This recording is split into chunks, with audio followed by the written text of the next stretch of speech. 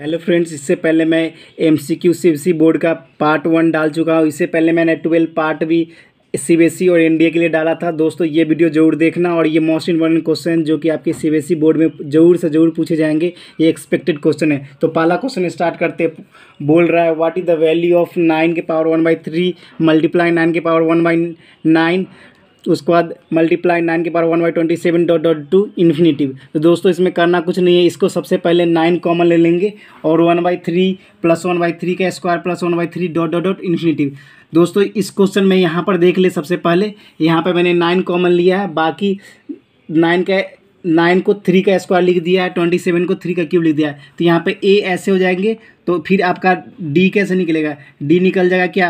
One by three का square, one बटा three. तो आपका डी निकल जाएगा वन बाई थ्री।